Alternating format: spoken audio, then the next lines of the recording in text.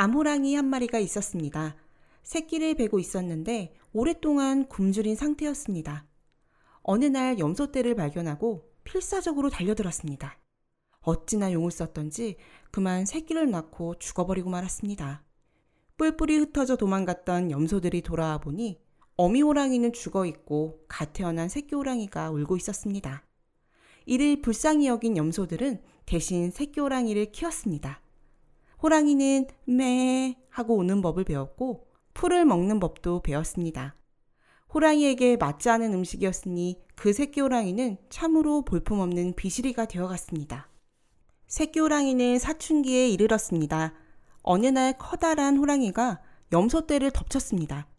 염소들은 사방팔방으로 도망쳤지만 비실이 새끼 호랑이는 도망도 못 가고 멍하니 서 있었습니다. 큰 호랑이가 새끼 호랑이를 보자 놀라 물었습니다. 뭐야 너? 염소들과 사는 것이냐? 매 새끼 호랑이가 대답했습니다. 큰 호랑이는 기가 막히고 화가 났습니다. 몇 번 쥐어박아 주었지만 새끼 호랑이는 염소 소리로 울 뿐이었습니다. 그러자 큰 호랑이는 새끼 호랑이를 끌고 잔잔한 호숫가로 데려갔습니다. 새끼 호랑이는 난생 처음 자기의 얼굴을 보았습니다. 큰 호랑이는 자기 얼굴을 그 옆에 가져다 대고 말했습니다. 이것 봐. 너와 나는 같지? 넌 염소가 아니라 호랑이다. 알았느냐? 내 모습을 마음에 새겨 호랑이가 되어라. 새끼 호랑이는 이 메시지를 이해했습니다. 큰 호랑이는 새끼 호랑이를 데리고 동굴로 갔습니다. 그곳에는 피가 뚝뚝 떨어지는 영양의 고기가 있었습니다. 큰 호랑이가 한 입 베어 물며 말했습니다. 그러자 새끼 호랑이가 말했습니다. 나는 채식주의자인데요. 헛소리 하지 마라. 그리고 고기 토막 하나를 입에 찔러 넣어 주었습니다. 새끼 호랑이는 숨이 막혀 캑캑댔습니다. 씹어라. 호랑이는 풀을 먹지 않는다. 달려들어 생명을 잡아먹고 생명으로 살아가는 것이다.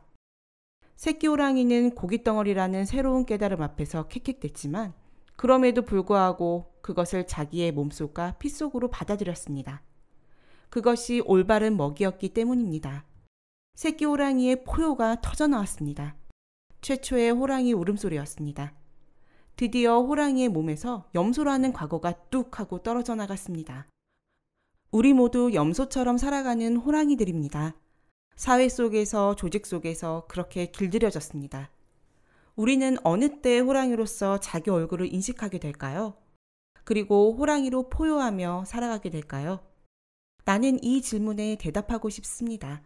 그러나 오해는 하지 말기 바랍니다. 내가 염소는 싫어하고 호랑이는 좋아한다고 말입니다.